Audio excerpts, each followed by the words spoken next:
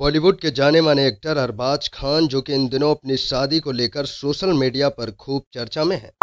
बता दें कि बॉलीवुड के एक्टर जो कि अरबाज खान ने, जो कि हाल ही में गर्लफ्रेंड सूरा खान के साथ जो कि दूसरी शादी रचाई है, और जिसके बाद वह लगातार जो कि चर्चों में बने हुए हैं, और कपल की वेडिंग फ़ोटो जो कि सोशल मीडिया पर खूब छाई हुई हैं।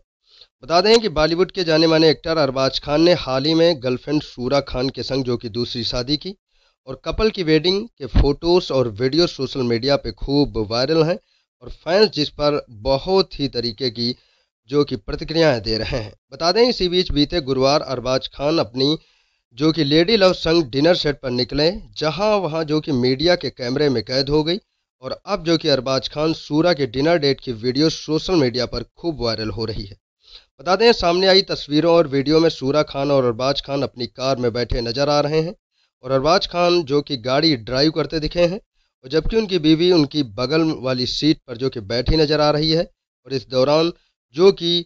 सूरा मीडिया के जो कि कैमरों से अपना चेहरा छिपाती नज़र आई हैं। बता दें कि अरबाज खान और सूरा खान ने 24 दिसंबर को अपनी बहन अर्पिता खान के घर पर जो कि निकाह किया था दोनों के निकाह में उनकी पूरी खान फैमिली और इंडस्ट्री के कुछ खास जो कि दोस्त शामिल हुए थे। तो दोस्तों, आज की इस वीडियो में इतनी ही खबर और ऐसे ही बॉलीवुड से जुड़ी खबरें पाने के लिए हमारे चैनल को सब्सक्राइब करना बिल्कुल न भूलें।